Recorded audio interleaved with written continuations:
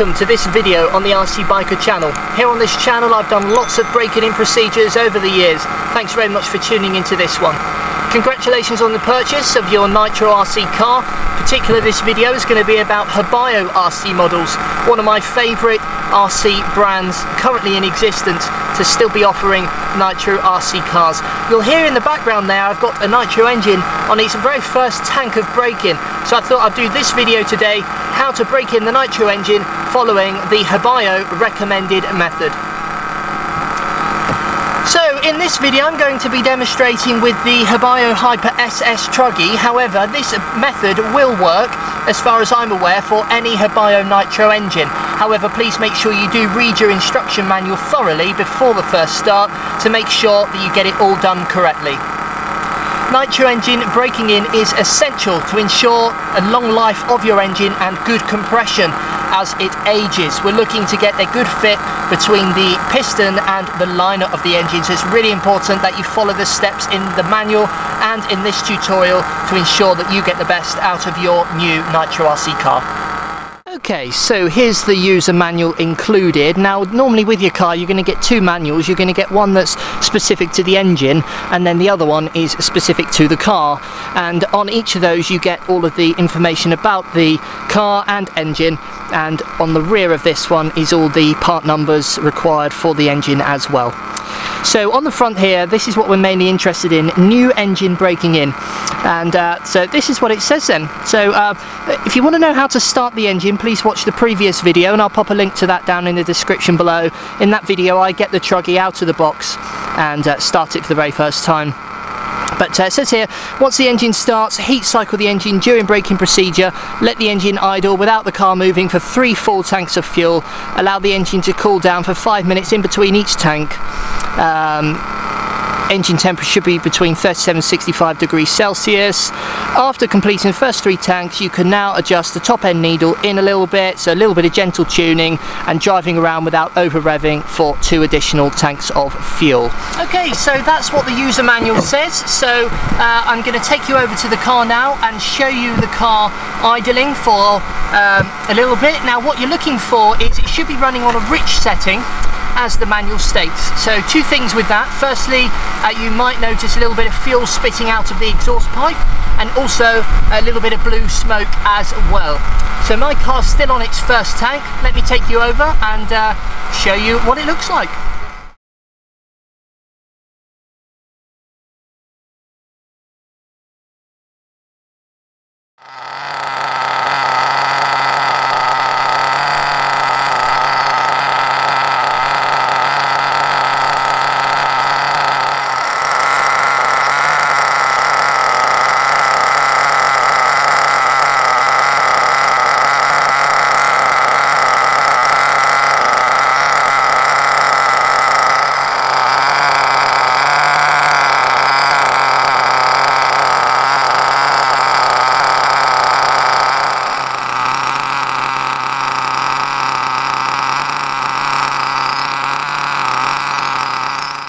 So I'm just going to allow that engine now to sit for three full tanks and when that's done we're going to drive the engine around relatively slowly uh, using um, you know varied amounts of throttle and just starting to lean out the engine a little bit. So I'll catch you in probably about half an hour when that's done, ready for tank uh, 4 and 5. See you shortly. Okay great, so we've just allowed the engine of this one to idle for three full tanks and that took about an hour and a half in total. This is a massive 150cc fuel tank, so it takes quite a while. Between each tank, it's important not to allow the uh, fuel tank to run completely out, because as the fuel tank gets low, the engine bit on the which don't really want for engine. So, the manual states, as we went through earlier, after the first three tanks have been idling, for the following two tanks, we just need to drive around without using any continuous throttle. So for me, that means working through the rev range but not holding too much full throttle. That's going to blow the old fuel out of the pipes and clear the, uh, clear the chambers. And what that will allow us to do is also start fine tuning the engine as well. It does say in the manual from tank 3 onwards, uh, sorry, tank 4 onwards, we can now start to tune the engine a little bit. So let's um, fill the tank up again. Fill it up all the way.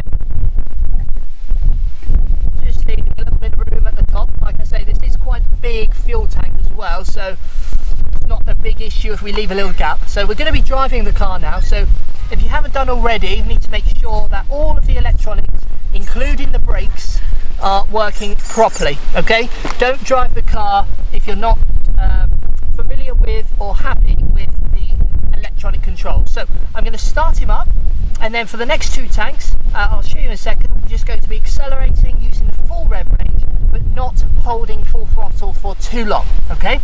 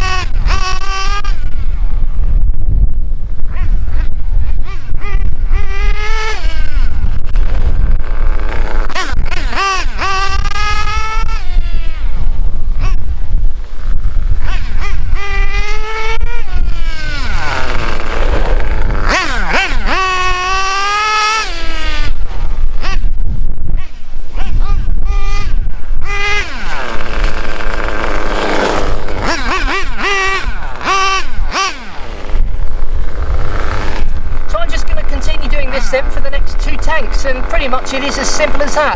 A few things to be aware of, keep checking that engine temperature, make sure it's not overheating. Once you're happy with that, once you've done those two tanks, it's then time to start fine tuning your engine.